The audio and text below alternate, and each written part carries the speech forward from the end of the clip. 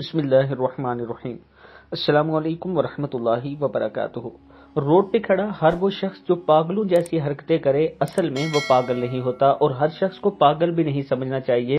इन जैसे पागलों को अपने करीब भी नहीं आने देना चाहिए। आज मैं अपने दोस्तों के साथ एक वीडियो शेयर कर रहा हूँ। जरा आप वीडियो मुलायजा कीजिए, उसके बाद हम इस पर बात करते हैं।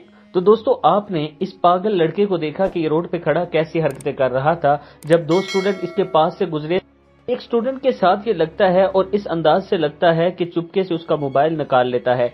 आप दोस्तों ने वीडियो में भी ये मनाजिर देखे हैं। दोस्तों, खुद से एहतियात किया करें। रोड पे ऐसे आपको बहुत से लोग नज़र आएँगे जो पागल होने की एक्टिंग कर रहे होते हैं और जब भी उन्हें मौका मिलता है, वो आपकी कोई न कोई कीमती चीज़ लेकर भाग जाते हैं। अल्लाह ताला हम सबको ऐसे बुरे अमल से दूर रखे।